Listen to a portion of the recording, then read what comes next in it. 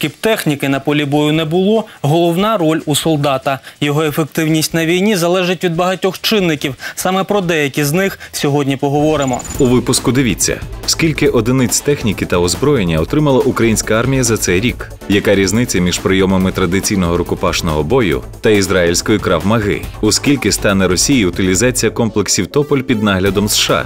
Хто почне вирощувати шкіру для солдатів з опіками та пошкодженнями? Та яка військово-морська техніка світу була спущена на воду за останній тиждень? У бою трапляються ситуації, коли стрілецька зброя вже не допоможе, і треба боротись голіруч. Для цього упродовж останніх десятиліть у військових навчальних закладах та частинах нас вчили рукопашному бою, але є альтернативи. Не будь жертвою такий слоган ізраїльської військової системи Крав-Мага.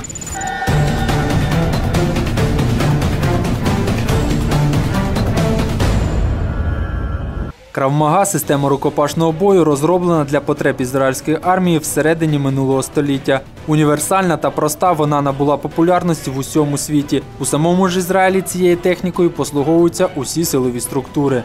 А У нас нет никакой философской составляющей в принципе, нет никаких э, морально-этических норм. Главный принцип – я хочу выжить, и если для этого надо уничтожить противника, его надо уничтожить. Мы не делаем сложных, э, вычурных движений. Все движения естественные, простые, и всегда стараемся атаковать по самым уязвимым местам. Глаза, горло, пах. Завдяки Кравмага за максимально короткий термін солдат може опанувати базові вміння та навички, необхідні для виживання в умовах сучасної війни. Система проста і водночас ефективна. Саме цим вона краща за радянську систему рукопашного бою. Рамага предусматривает очень быстрое решение той или иной проблемы. Здесь нет никакой красоты движения. Здесь минимально за короткое время э, нанести увечья противнику. Минимально, доли секунды. Буквально 2-3 атаки и мы закончили. Вот чем мы отличаемся. Завдяки кільком прийомам можна швидко уникнути безпосередньої небезпеки, запобігти подальшим агресивним діям, а потім і нейтралізувати нападника. Насамперед, кравмага знадобиться військовим, які зараз виконують поліцейські функції. Наприклад, зачищають населені пункти на Донбасі. Там можуть трапитись вороже налаштовані до армійців люди, яких потрібно вгамувати, не застосовуючи зброї. Важливо усвідомити два основних принципи: дистанція кращий спосіб убезпечитись і вберегти зброю. Трофейне спорядження не ваш здобуток, а помилка противника. Як правильно послуговуватись власною і захиститись від ворожої зброї, розповість інструктор з Кравмага Дмитро. Давайте так. Моя задача устранить точку угрозы. Мои руки подняты, чтобы не выдать никаких моих намерений. Плечи немножко приспущены, я стараюсь казаться меньше, чем я есть на самом деле. То, что нам непосредственно угрожает, будь это летящий кулак в голову, будь это ствол пистолета, нож, приставленный к горлу. А пока мы не разберемся с основной угрозой, мы не можем контратаковать.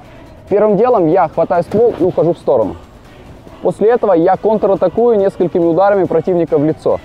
Агрессивность. Все техники должны выполняться максимально агрессивно. Задача нанести максимальный ущерб противнику в самый короткий срок с минимальным затратой энергии у нас. Наношу противника несколько травмирующих ударов. Раз, два, три, четыре. Второй принцип – это вариативность. У нас всегда должно быть минимум еще два запасных варианта помимо основного. А, Техники подразумевают, что если у нас что-то пошло не так, мы должны не стопориться на этом, а продолжать работать дальше. Прихватываю приклад, вырываю. После того, как я получил оружие, я наношу травмирующие удары дульным срезом. Раз, два, три. После нанесенных ударов я разрываю дистанцию, привожу оружие к изготовке и стреляю. Що ж, якщо ви хочете захистити себе та своїх близьких у будь-якій критичній ситуації, кравмага те, що вам потрібно.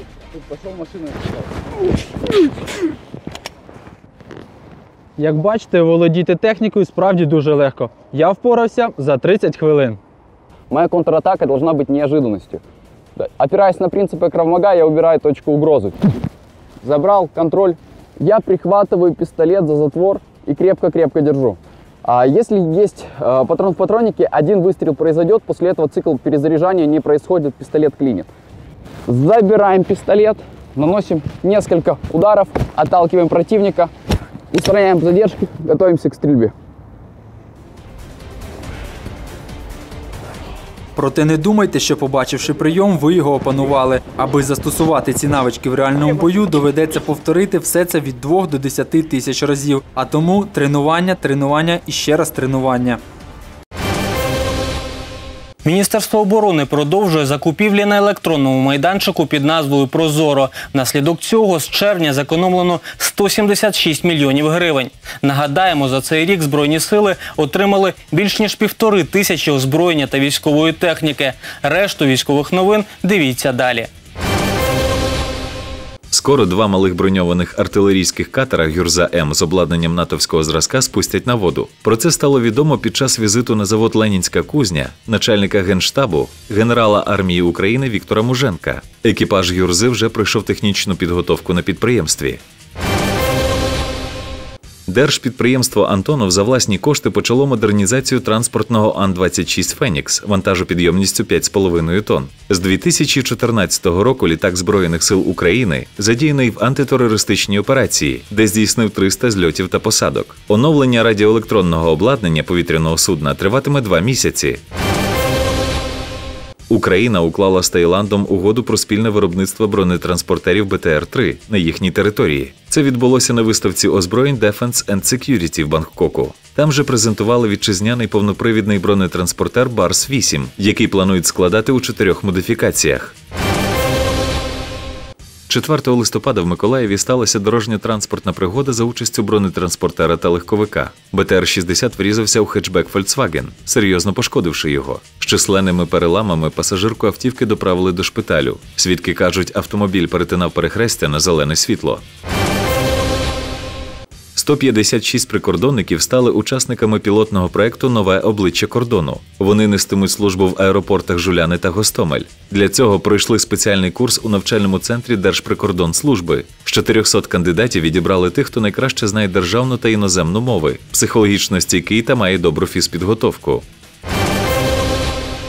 Оборонне відомство витратило 39 мільйонів гривень на ліки та вироби медичного призначення для військових аптечок нового зразка. Нагадаємо, три тижні тому в Міноборони заявили, що додатково закуплять 70 тисяч комплектів. Це стало можливим завдяки вказівці Кабміну щодо звільнення такої продукції від НДС на період АТО.